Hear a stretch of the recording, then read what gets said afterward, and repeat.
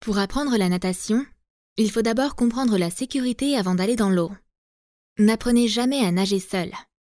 Demandez toujours à un adulte, un maître nageur ou un instructeur de vous surveiller ou de vous aider à apprendre. Ensuite, exercez-vous à retenir votre respiration pour vous détendre. Dans ce but, inspirez longuement, puis retenez votre souffle. Une fois que vous avez maîtrisé cette étape, vous pouvez tenter de flotter. Commencez par vous mettre parallèlement à la surface de l'eau en étant allongé sur le dos.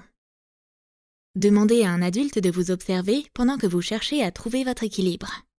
Essayez de maintenir cette posture pendant quelques instants sans aide, en gardant votre visage hors de l'eau. Entraînez-vous toujours par de faibles profondeurs, afin d'être en mesure de vous relever facilement en cas de besoin. Lorsque vous arriverez à flotter facilement, agrippez-vous au bord de la piscine et tentez de bouger doucement vos pieds dans l'eau.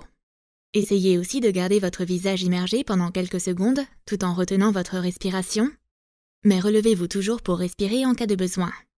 Si vous voulez apprendre la nage libre, la brasse, le papillon et le dos crawlé, essayez de travailler avec un instructeur qualifié.